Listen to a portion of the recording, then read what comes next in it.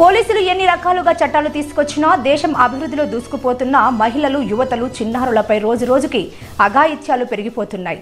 హత్యలు యువతలపై హత్యాచారాలతో ప్రజలు తీవ్ర భయాందోళన చెందుతున్నారు.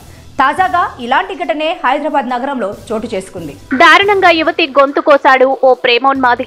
హైదరాబాద్లోని ఎస్ఆర్ నగర్లోని బోరబండ నియోజకవర్గంలో నివాసం ఉంటున్న సురేష్ అనే యువకుడు గత కొంతకాలంగా ఓ యువతిని ప్రేమిస్తున్నాడు. ఆ యువతి సురేష్ ప్రేమను నిరాకరించడంతో ప్రేమించాలంటూ యువతి వెంట పడుతున్నాడు. అయినప్పటికీ యువతి పట్టించుకోకపోవడంతో ఆగ్రహానికి గురైన సురేష్ సోమవారం యువతి గొంతు కోశాడు. గమనించిన స్థానికులు వెంటనే నిందితుణ్ణి పట్టుకుని పోలీసులకు అప్పగించారు.